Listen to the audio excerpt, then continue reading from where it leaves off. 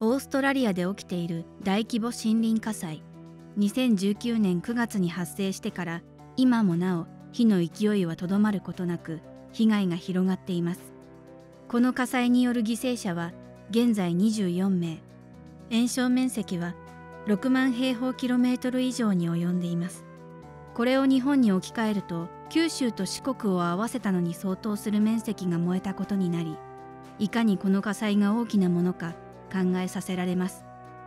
被害が深刻なのがオーストラリアに多く生息する野生動物です。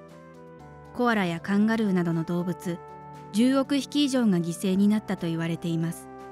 特に動きが遅く火災に巻き込まれやすいコアラはすでに30から50%近くが焼死したという報道もあり救出活動が続けられています。また南オーストラリア州では必死で水を求めるラクダたちによって住民の生活が脅かされておりラクダの殺処分が始まる見通しです。これにより1万頭のラクダが射殺の危機にさらされています。生態系が以前の状態に戻るまでには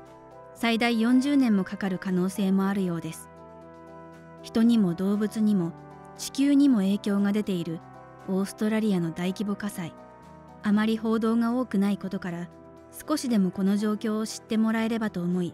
今回はこの動画を作りました。なおこの動画の収益は全て寄付させていただく予定です。